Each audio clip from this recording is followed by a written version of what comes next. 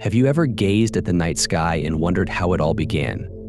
How did our universe, with its countless galaxies, stars, and planets, come into existence?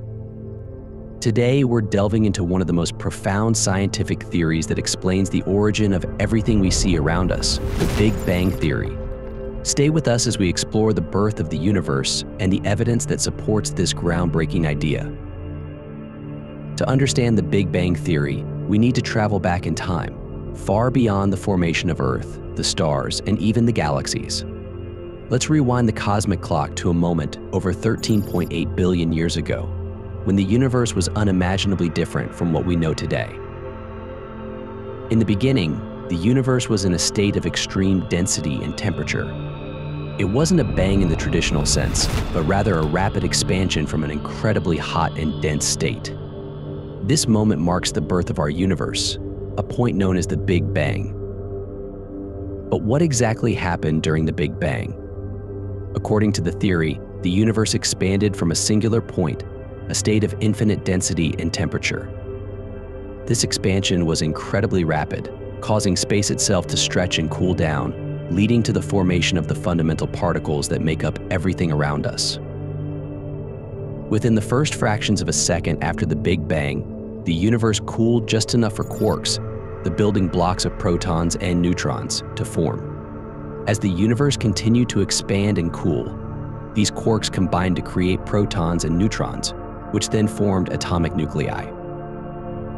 About three minutes after the Big Bang, the universe had cooled sufficiently for the nuclei of hydrogen and helium, the simplest and most abundant elements, to form.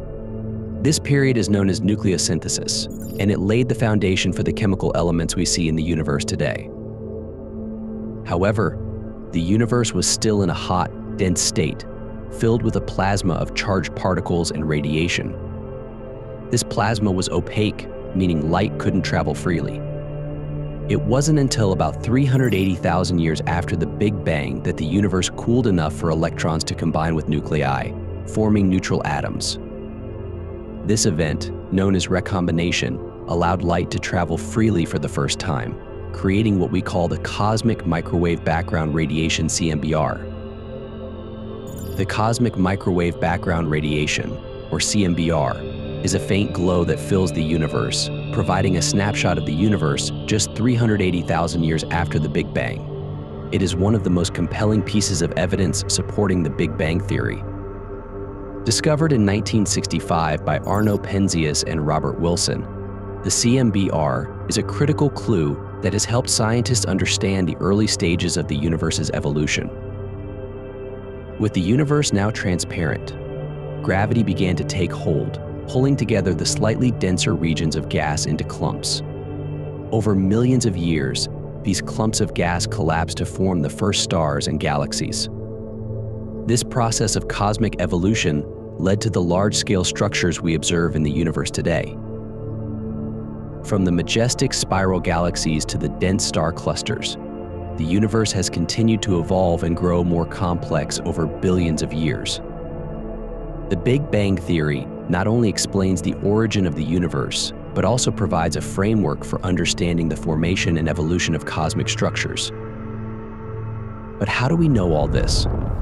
The Big Bang Theory is supported by a wealth of observational evidence. Besides the cosmic microwave background radiation, astronomers have observed the redshift of distant galaxies, which indicates that the universe is expanding. This discovery, made by Edwin Hubble in the 1920s, showed that galaxies are moving away from us, and the further away they are, the faster they are moving. This is exactly what we would expect if the universe started from a single point and has been expanding ever since. Another piece of evidence comes from the abundance of light elements, such as hydrogen, helium, and lithium, in the universe. The Big Bang nucleosynthesis model predicts the relative amounts of these elements produced in the early universe, and observations match these predictions remarkably well. Modern cosmology also relies on computer simulations to model the evolution of the universe from the Big Bang to the present day. These simulations, based on the laws of physics, produce structures that closely resemble the cosmic web of galaxies and clusters we observe.